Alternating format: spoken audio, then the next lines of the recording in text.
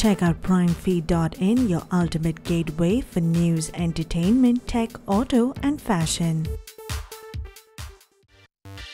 Salman Khan has his kitty full once he finishes Race 3. He will start working on his next Bharat. The film will be helmed by Sultan and Tiger Zinda Hai director Ali Abbas Zafar. The director had earlier said that Salman will appear in a different look in the film, far from the macho image that the actor wields in his other films. Reportedly, the story of Bharat chronicles Salman's journey from the age of 18 to 70. Ali has plans to make Sallu look the way he appeared in Maine Pyar Kiya. The makers will reportedly use an age reduction technique to achieve what they have envisioned and reportedly they are in talks with the prosthetics and VFX team of Hollywood film The Curious Case of Benjamin Button. Ali also apparently wants Salman to lose weight so he can look younger. Check this out and tell us what you think about this and don't forget to subscribe.